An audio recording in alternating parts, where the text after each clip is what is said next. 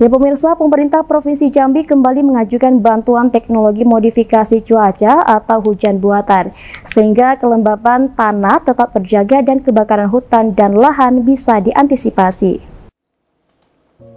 Puncak musim kemarau membuat lahan menjadi kering dan menyebabkan kebakaran hutan dan lahan atau karhutlah mudah terjadi. Untuk mengantisipasi hal tersebut, pemerintah Provinsi Jambi kembali mengajukan bantuan teknologi modifikasi cuaca (TMC) atau hujan buatan ke Kementerian Lingkungan Hidup dan Kehutanan.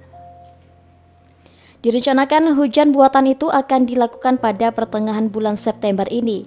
Hal tersebut didukung dengan munculnya awan hujan yang bisa mendorong keberhasilan hujan buatan. Sekda Provinsi Jambi, Sudirman mengatakan, sejauh ini sudah tiga kali hujan buatan dilakukan di Provinsi Jambi. Tahap pertama dilakukan oleh perusahaan dan kedua dilakukan oleh Badan Restorasi Gambut dan terakhir dari Badan Nasional Penanggulangan Bencana. Kurang lebih sekitar 50 ton garam sudah disemai untuk menurunkan hujan di Provinsi Jambi.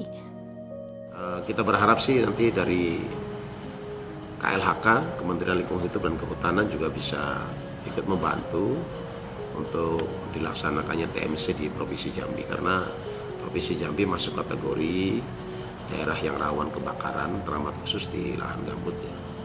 Itu kita ajukan untuk pertengahan bulan ini, Bang.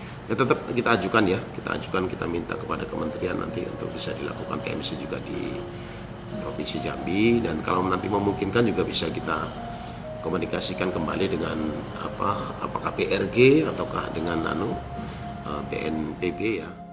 Sekda Provinsi Jambi Sudirman juga mengatakan untuk anggaran TMC diserahkan ke pemerintah pusat. Pasalnya Pemda tidak ada kemampuan untuk mengadakan TMC mengingat anggaran yang cukup besar. Rian Chen Chen, Jack TV melaporkan.